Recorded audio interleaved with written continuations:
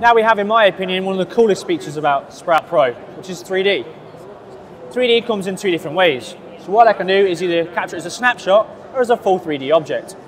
In this case, I'm going to go for the full 3D capture. So in this case, I'll use one of our capture stages to place on. This sequence of black and white lines is used to capture the object.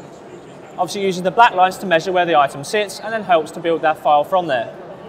What it does is use our cameras at the top on here include our Intel RealSense 3D camera, an infrared camera and a 14 megapixel webcam.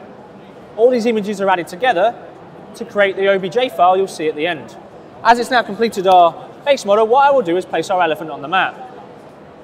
So I've pressed start to scan. What you'll start to see now is our six segments in a cycle.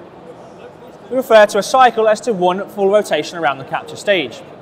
Each segment moves it a portion and gives us a different viewing angle, allowing us to stitch these images together.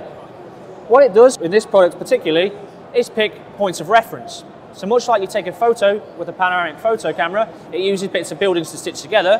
What we do in our 3D program is we use the legs and trunk and ears as points of reference and it starts to build the file from these bits, expanding around. So what that means is, as you can see here, we're starting to get our elephant.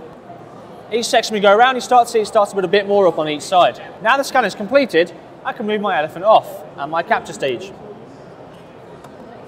As you can see on here, this is our elephant. Obviously we've got the underside and every part of it matched in. From here, what I can do is enlarge it or move it around on either one of my screens. I can then also do some basic editing. So what I can do here is select different materials to show you what it's made out of. So I can remove the skin completely and show you basically compound there. I can then choose to show you what it's made out of. If I've made it out of, for example, sheet metal. And then change the color to gold. As we discussed earlier, it's an OBJ file. So what that means is I can then put that into things like Mesh Mixer, Maya, or Photoshop. This allows me to use it for animation, architecture, or other graphic design programs. What I can also then do is send it to a 3D printer. So here's an elephant that we've already 3D printed earlier. As you can see, it's a lovely scaled down version of our previous model. If you then want to take this and be a bit more creative, what you can do is take something like our human-man-elephant combination. What this is about is taking two objects we previously scanned in, slicing them off in the middle and building them both together. So what I'll do is I'll jump out of here,